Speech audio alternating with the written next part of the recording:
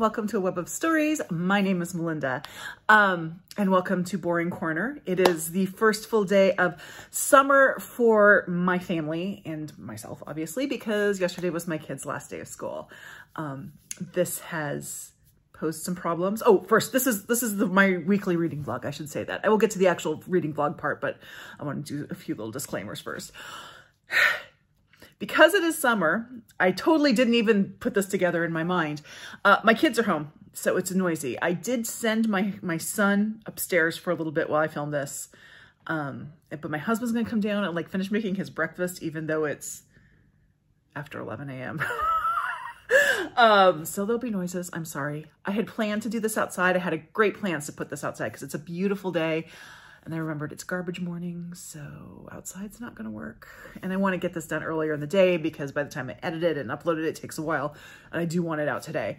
Um, so anyway, this is my weekly reading vlog. As usual, we will do the vlog part and then I'll come back and do kind of like a little vlog today and then go over my reading for the week. So let's get started. Okay, it's Friday, June 9th. I'm out here in the rain. I just wanted to show you my little things. I have sprouts in my lettuce, which is surprising me because my son didn't put enough dirt in that. I didn't think that would happen. These radishes, these are purple plum radishes. They're doing well. I'm getting a little bit on my spinach coming up. And this, you can barely tell. I think this is also spinach. we'll see. Um, nothing on the, the green onion. This is radish surprise. It's just the seeds I had left over. So we'll see what we get out of that. This is more green onions, nothing's happening. These back here are carrots, and over here, look, my first little tiny, teensy tiny carrots popping up. And more radishes. We're not really a huge radish family. I just, you know, needed a win. So, oh, and then over here, nothing's gonna happen here, but these are all my potatoes. Um, the stuff on top is just grass clippings I'm using as mulch. But I just planted those, so I'm not expecting anything. And then Oh, hey, it's reviving. This is my little grocery store uh, basil that I bought. Let's see if I can make it live. It's, it's kind of sort of living. And then over here we have two things of catnip. Again, my son didn't put enough dirt in that one, so I planted another one. But still nothing coming up with the catnip. That's okay. I don't really care that much about catnip. He just thought that was cool. Anyway, that's my yard. And this is the basketball hoop my kids don't use, but we don't know what to do with it yet, so there you go. Hello, it is Sunday, June 11th. Um, I'm out here in my front porch again. Um, my kids are out making a lot of noise in the backyard and the boring corner is boring. And I wanna do a quick video. I just finished um, The Girls on Chalk Hill and I, I kid you not, I like could not put that down for the last 30%. It was a, a really good suspenseful book. I had a couple issues with it, nothing nothing huge, but it's definitely a good book. Um, it's a NetGalley review, so the book is not published in the US yet. Although apparently the sequel's already out in the UK, so I might do some Blackwell shopping. but um, I'm going to do my Goodreads review, which will be up soon, probably tonight. Um, so if you really want to know what I thought of it right away, you can always look at my Goodreads account by the time you see this video. Um, I will do a video review of it, but I'm not going to release it till its publication day, which is later in June. So you will hear on this channel what I thought of it. You just have to wait a few weeks. So anyway, other than that, it's a beautiful day here. Um, we're heading into the last week of school for the kids. And uh, yeah, that's what's going on in my world. Sad stuff. Good morning. I have my my mug like Sue because today I'm starting another big book. I'm going to start the Lincoln Highway today. Oh, by the way, it's uh, Monday, June 12th. I actually um, had an, ex I call them my accidental big books where I read them and I don't realize until I'm done that they're big books. Um, I finished The Girls on Chalk Hill uh, yesterday and when I went, to, it's uh, uh, eARC. So when I went to enter it into my um, spreadsheet, I saw it was over 400 pages. So another big book for me. Um, I will be doing a lot of recording today. So you're going to see this shirt, but I'm going to try to like spread out like the video so it doesn't look like I'm just doing a bunch of videos in a row. Uh, but there you go. Uh, this is the last week of school for my kids. Actually, the last like half week because they have regular hours of school, Monday, Tuesday, Wednesday. And then Thursday they have half day. Uh, I'm going to go walk with my son to school um, in the morning um, because he has like a little promotion. And then um, after that, his class is going to go, there's a bowling alley not far away. So they're going to go have a party. Um, and then that afternoon, my daughter has like a drive-through promotion where you just go to the middle school and you drive through and you can get out and take pictures and they have like a Kona Ice food truck there. Um, so we'll be doing that. And then it's like summer. I can't believe I, this is a, this is a hard one. I think I said this in an earlier vlog. This is a hard one because, um, it's the only year where both of my kids are promoting to like another phase of school. Um, they're two years apart in school. So sorry, I keep like banging something while I talk. um, they're two years apart in school. So this year, um, in our school district, middle school is seventh and eighth grade. So my son is going into middle school and then my daughter is going into high school, which I cannot believe because she's still just a baby, right? She's, she's still a baby. but she's like, mom, can you quit being so like weird about that? I said no, because I'm a mom. Uh, wait till you go to college. You think this is weird? Wait till you go to college. anyway, so it's, it's kind of like a big emotional week for us. Emotional for me, because I'm someone who cries really easily, so I'll probably like cry at these little promotion things, but whatever. I'm going to try something. I don't know if this is going to take off, um, but I was thinking about this. Um, yesterday, I was uh, responding to some comments uh, to Randy, the literate Texan, um, and it was it was a reply on my uh, toot and June on the Range tag is that that part's not really important. But in this tag, I told him a story that I, I realized I probably should have just told the story everywhere. And if you want, you can go find it and, and get a sneak peek because I'm not going to tell the story right here. I'm just going to tell you what I'm going to do. Um, but it's one of those stories where like what you're reading is like reflected back to you in real life. And um, I'm not sure what to, I think I'm going to call it the slice of bookish life story, slice of bookish life. We're going to make that a hashtag. um, but on Monday, I am going to post a video wearing this same shirt because I'm going to tell it right after, I'm going to film it right after I film this, um, telling the story of when what I was reading like reflected back to me in outside of, you know, in real life. This has actually happened twice to me in my life. Um, unfortunately, one time was just horrific, not personally horrific, just generally horrific. Um, ooh, really, it was, I'm not going to tell a story because it was that bad, but I will tell you that the book I was reading at the time was The Lovely Bones. So again, not a personal story, just something that was happening. It was generally horrific, but yeah, that's a horrific book. So, but the story I'm going to tell is actually very sweet and kind of cool. um, Randy already knows the story and anyone who's peeked ahead to my comments on that tag, which I am not going to put a card up because you're going to have to work for it. um, anyone who's peeked at the peeked at the um, tag and the comments on it will have seen the story, but it's actually pretty cool.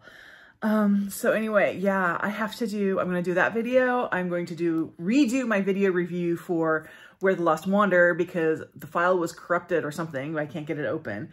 Um, and I'm going to do the Girls on Chalk Hill review, which you will not see until later this month because it's going to be like the day it releases is when I'm going to put it up. Um, and then I might, if I get organized and actually get this up, I'll do a little run through of like my summer reading program for my kids. Um, the method I use is bribery. um, yeah. So we're gonna, I'll, I'll run through all that if I get that up today, if not, and I'm not sure when I'll put that up. So we'll see. I'm trying not to like schedule videos. So I have like six videos in a week and then nothing for the next week. So I'm trying to space things out. Anyway, um, I'm going to log off this vlog now. Oh, the other book I finished before I log off, the other book I finished was One Flew Over the Cuckoo's Nest, um, which I enjoyed. Um, I still have to watch the movie. I'm not going to do a video review of it exactly. Um, I will, I'm going to do a vlog where I do a little short review, kind of what I thought of it and the movie when I watched the movie. Um, I was going to watch it yesterday, but the kids started watching The Simpsons and it just didn't happen. Um, and then a vlog for when we go down to the museum down in Salem and show all that. And I'm not sure when that's going to be because um, just schedule wise when we're going to have time to do it, but that is coming. So I won't be doing a, a review for that, but at some point you will see all that together. now I'm cutting this short. I have other videos to do and I don't want this vlog to be like an hour long on Friday when I publish it. So I'll talk to y'all later. Bye. Good morning. I am not coming.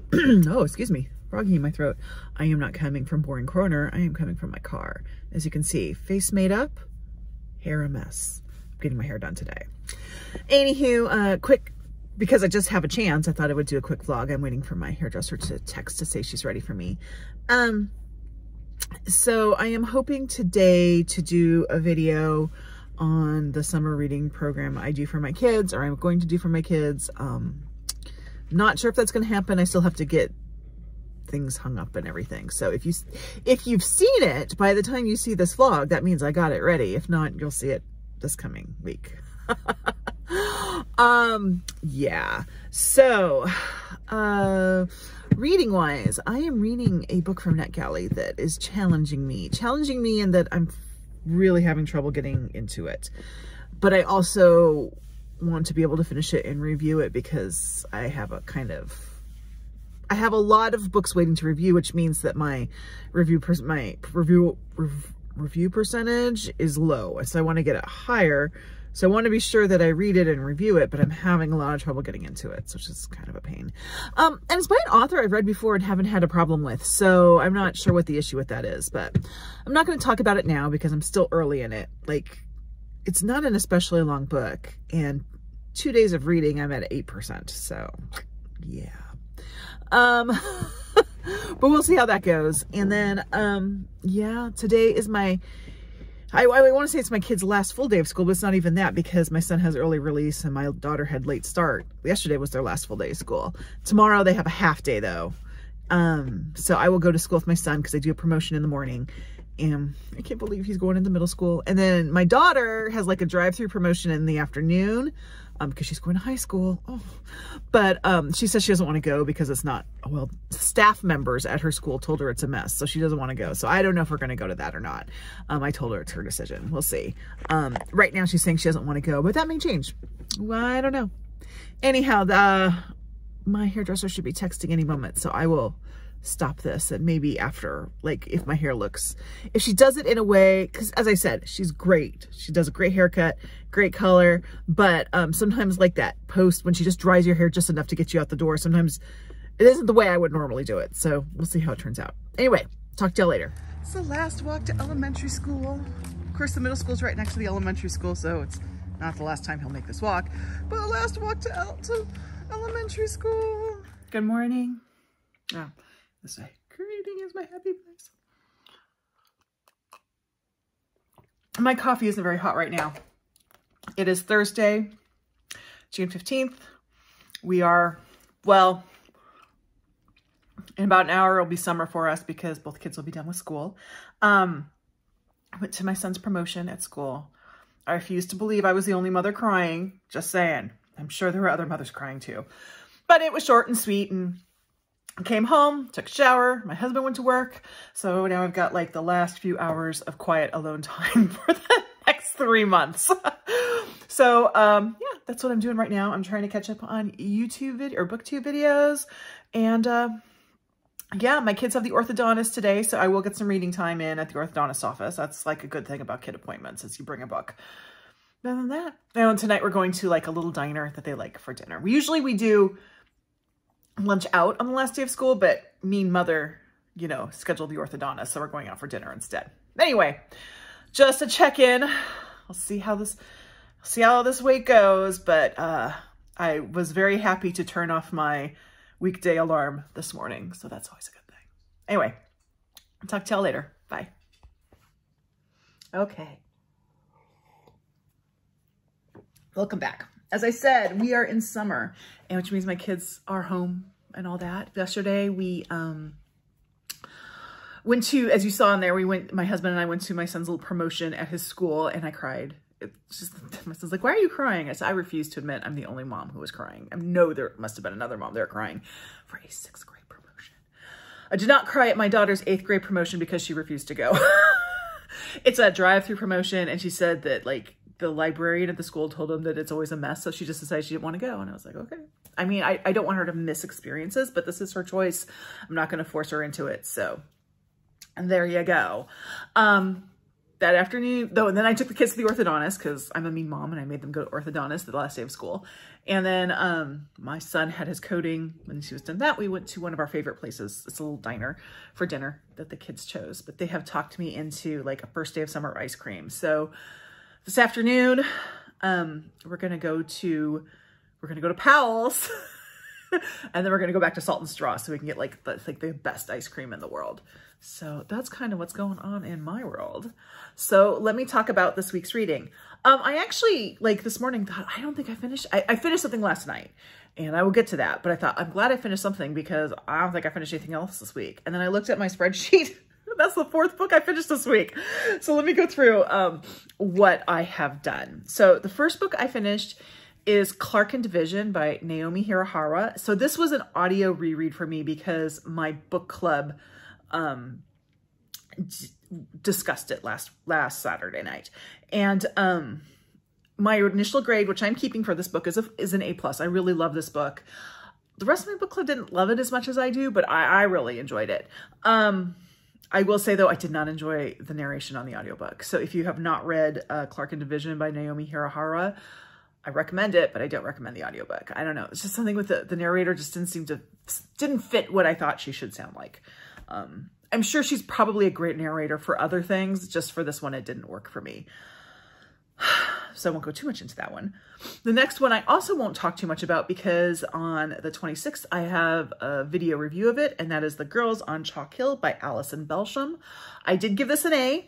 Um, this is kind of like a fun thriller, you know, suspense thing. And I really enjoyed it. Um, there were a couple things that kind of like meant, hmm, one of which, which I'm not sure is, is really a thing, which I kind of discussed in that video, if I remember correctly. But anyway, um, I actually really liked it. And little confession though. So the sequel's coming out, but the only place I could find the sequel, and I looked everywhere. I looked on Bookshop, I looked at Powell's, I looked at um, Blackwell's, couldn't find it. The only place that had it was was Amazon. So I had to to pre-order and they only had it on Kindle. So um I did have to pre-order that because I do really want to read the next book in the series. I think it's called The Girl's Last Cry. I think that's what it is. is, coming out later this summer. So then the next book, which I'm also not going to talk too much about because I'm going to do something else with that, is One Flew Over the Cuckoo's Nest by Ken Kesey. So um, my plan for this is I'm going to do like a little, like, not a reading vlog because I've already read the book, but I'm going to do like a little vlog um, kind of with my thoughts of the book. And then I'm going to watch the movie and I'll have my thoughts on the movie. And then I'm going to do like a little travel vlog because my family and I will go down to Salem, which is my hometown. And it's also where this book takes place. Um, it's about an hour south of here. And we're going to go um, at the, the state hospital there where One Flew Over the Cuckoo's Nest is based and where the movie was filmed. They now have um, a museum so we're going to go to the museum and part of that museum is dedicated to One Flew Over the Cuckoo's Nest. Actually, a woman um, from my the church I grew up in started that museum. So we're going to go do that. And I'm going to do that kind of all as sort of a vlogish thing at some point. I'm not sure when. It may not be until July that happens. Only because we have to find a time. Whenever we go to Salem, we have to um, include that with a family visit. so there's other schedules that have to be worked in together. So hopefully soon we'll be doing that. Okay, the book I finished last night, which I will talk a little bit more about, is The Dark Angel, which is the 10th Ruth Galloway book by Elly Griffiths. So I gave this one a B+, plus, which for that series, or for a mystery series like this, is actually a really good grade. Um, and this book, Ruth, it's it's like Ruth Goes to Italy. She's It's not set in Norfolk, England, which is where one of the books they went to Blackpool, but otherwise all the books are kind of set in this one area, which is I mean, I really enjoy that because Ruth Galloway writes that area really well. I really want to go to this area. Um, so when I first realized I didn't know anything about this book, picking it up, I kind of do that with the Ruth Galloway books. I just pick them up because I already know the series. I don't read the synopsis or anything. So I was surprised all of a sudden we're in Italy. Um, and, but she did that really well. And then Nelson, who's like the other kind of main character in the series, also ends up, as does ends up in Italy, as does Cathbad, in a way that probably shouldn't work, but it does. Um, I won't say too much about the mystery. There's actually two sort of storylines going. There's the Italy storyline and there's the Norfolk storyline. And the Norfolk storyline is pretty much more kind of in the line of the overarching kind of a little bit soapy uh, plot that goes on. Um, I actually thought the Norfolk one was a little more interesting, mostly because it helped push along that sort of overarching storyline. Not that the Italy storyline was not interesting. It's just, um, you know, I like when Ruth uh, talks about like Romans in England and Romans in Italy, um, is, I mean, it's, it's not as special or as unique. Um, but the story was still really good. We did get Cathbad, not as much Cathbad as I would like. If you've read the series, you know Cathbad is the best. Um, and I, I would, you know, Elly Griffiths has says she has ended the Ruth Galloway series with the 15th book, which just came out. For now, she's not closed the door and, and revisiting Ruth. I would love for her to do a Cathbad series because Cathbad is just so awesome. But anyway, um, I enjoyed it. It was like my little present reading to myself. I was like, yes. And this week I had um, a hair appointment on Wednesday and then the kids orthodontist appointment. So I had like extra time during, usually I read that book at night, but I had extra time during the day to read it. So it was kind of a little treat for myself for a very hectic week and I enjoyed that. So, um, I recommend the Ruth Galloway series. I would not, I, I do think you need to start this with book. You do, you do need to start Ruth Galloway with book one, but it's worth it. They're all good. Okay, so what am I reading now? Well, the first book I have going is this honker, The Lincoln Highway by Amor Towles. Um, I'll be honest, when I first heard about this book, I was not as interested in it. Um, I have, the only Amor Towles I had read was, um, or Amor Towles, however, was Gentleman in Moscow, which I really liked. But just the, the plot that I had heard, like high level elevator pitch of this book of like boys on a road trip, like it did not seem interesting to me. Um, but it's Big Book Summer and I had it and a lot of people raved about it, but I didn't have a lot of details about it. So I thought, oh, well, I'll just read it for this. And then it came to my attention that this book is told over 10 days and it starts on June 12th. And each day is, is about, in the book, takes up about the same number of pages, which makes this really easy to read it like with the date. My husband, I think, just came down to make breakfast. If you hear noise, that's what's going on. Um, oh, that was my son someone came down to make breakfast. Anyway, the book is told over 10 days with each day being about the same amount of pages of real estate in the book. So it's really good to kind of read it with the correct day as you go along, which is what I've been doing. And I am loving this book.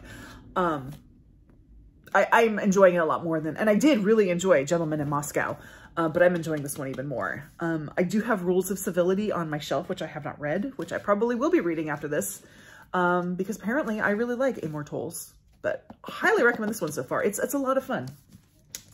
The next book I'm reading, which I did talk about last week, and I'll probably talk about next week because I'm just reading a little bit a day, is The Pioneers, the heroic story of the settlers who brought the American ideal west.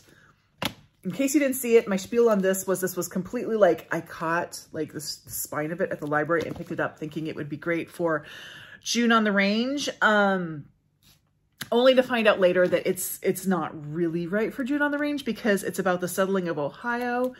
And we're talking the Washington, Adams, and Jefferson's presidency. So that's a little too early for me to feel okay saying it's part of June on the Range.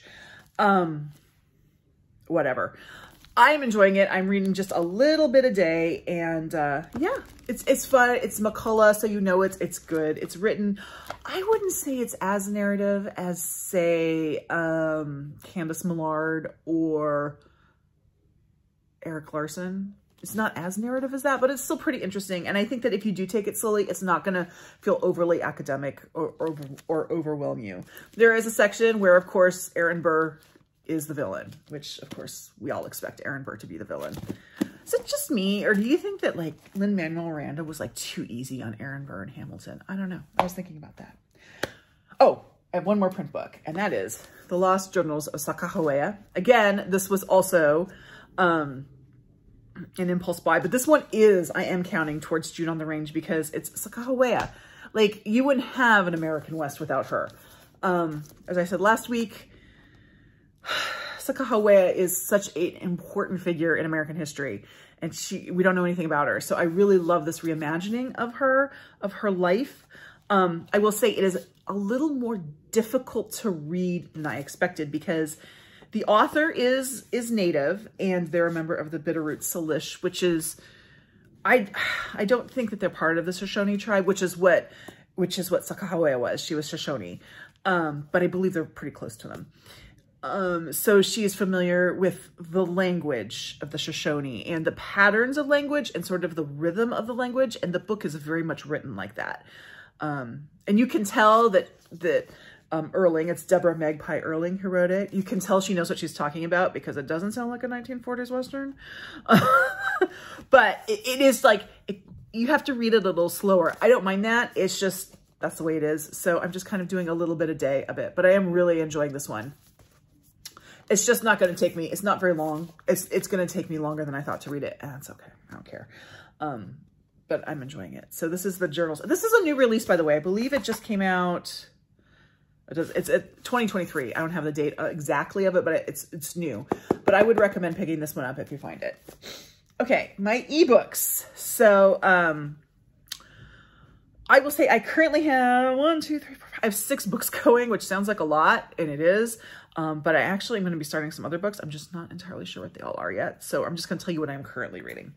So my ebooks, I have two, e three, I have three ebooks going. the first one is The Mad Women of Paris by Jennifer Cody Epstein. So this is a NetGalley book for me. Um, I'm not going to lie. I've been having some trouble. I had some trouble with this one getting started with it. Just, it, it wasn't grabbing me.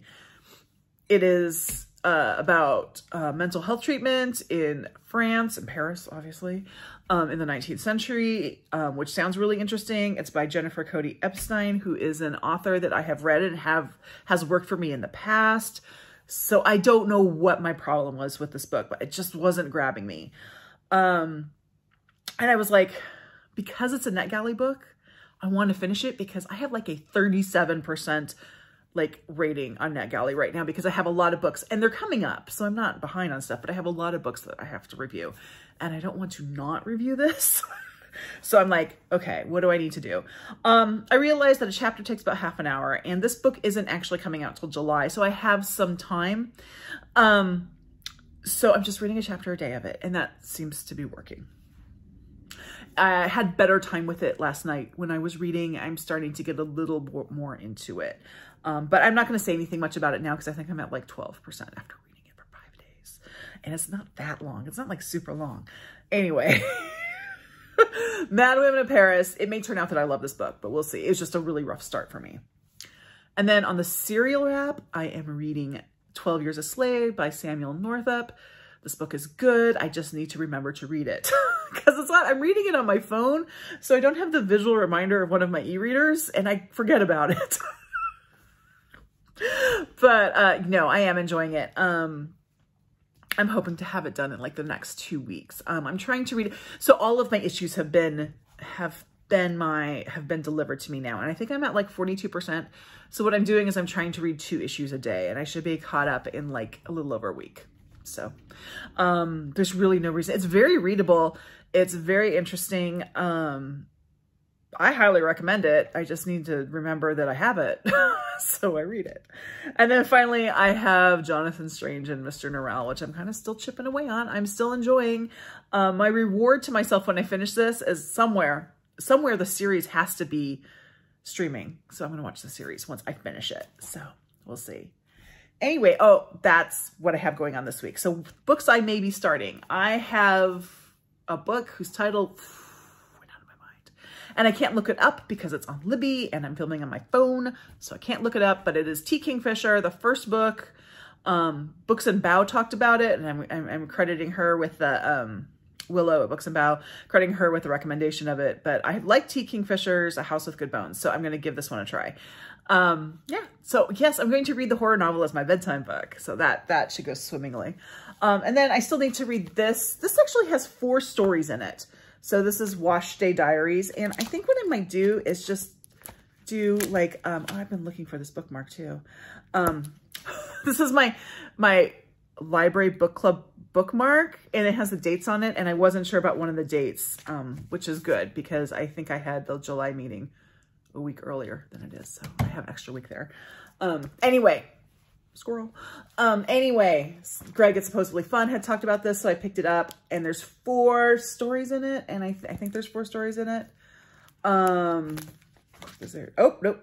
What? There's, there's five. There's five stories in it. So I think I'm just going to read one a day. It's, it's a graphic novel. It should not take me that long.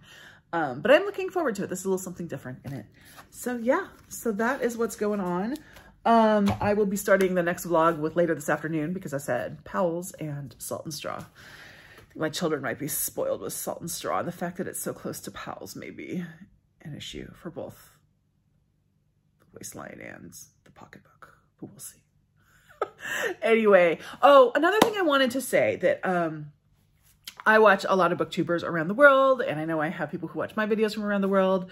Um, for those of you in the in Europe, I know it's not just the UK, in Europe, I hope that you guys are staying cool. Um, I have seen a lot of like really like crappy behavior by Americans um, about like, yeah, it's hot, deal with it kind of thing. And I'm sorry, on, on behalf of my, my fellow country people, um, I'm sorry because that's really bad behavior. Um, I do hope that you are staying cool and safe and these things, uh, this sort of inclement weather is just going to get worse. Um, so do what you need to to stay cool and safe and take care of yourself. And also, I just heard today that there were um, some, some tornadoes in Texas, and I know that um, I have some people who watch my videos and I watch their videos who are in Texas. I hope that you are safe. Um, back to the bad behavior of Americans. FYI, we're like that to each other too. So um, for example, and this has been really kind of like hard for me to talk about in a way that doesn't make me sound like that too. On the East Coast, we've had, there's been all that smoke from the Canadian wildfires, which is horrible. And thoughts for the people in Canada, we know how horrible that is. And of course the news is like, this is so horrible. This is so horrible.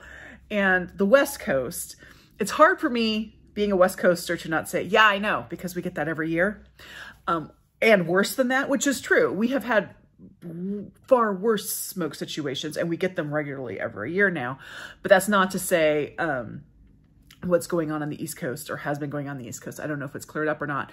Um, is not bad. And, you know, it is. It's just bad. We're all in a bad place. Um, I think that we as humanity have the power to reverse that. Um, I just don't think we as humanity have the unity to reverse that. So anyway, I just wanted to let people know that um, wherever you are, whatever you're facing, I hope that you take care of yourself and that you are safe. Um, and I hope that all is going as well as possible for you and that if anyone is facing any of these situations that you are in my thoughts. Anyway, with that, I'm going to stop now because I'm starting to get all uh, blubbering again.